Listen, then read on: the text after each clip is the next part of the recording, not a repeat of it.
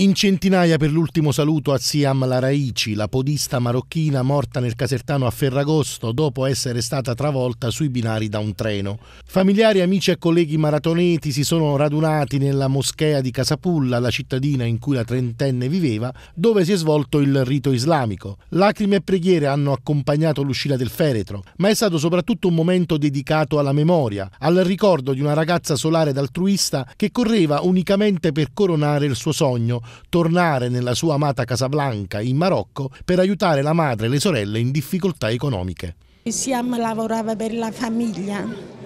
Quindi correva il ricavato delle corse? Forse mandava la mamma, anzi noi qualche volta insomma l'aiutavamo. Stavamo in aprile a fare la mezza maratona e lei, lei eh, durante il riscaldamento si fece male.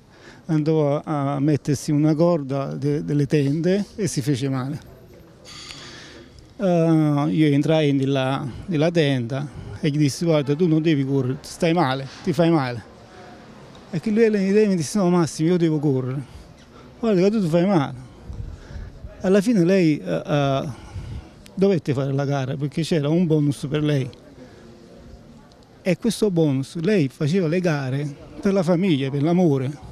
La cerimonia ha rappresentato inoltre l'occasione per ufficializzare le somme raccolte, quasi 6.000 euro, grazie alla maratona di solidarietà promossa dalla società podistica Il Laghetto, quella per la quale da qualche anno la giovane Siam gareggiava. È nata spontanea questa solidarietà e si è allargata a macchiatoio. Mo tutto quello che noi abbiamo raccolto, d'accordo con altri atleti magrebini, marocchini, li manderemo tutti nelle mani della mamma.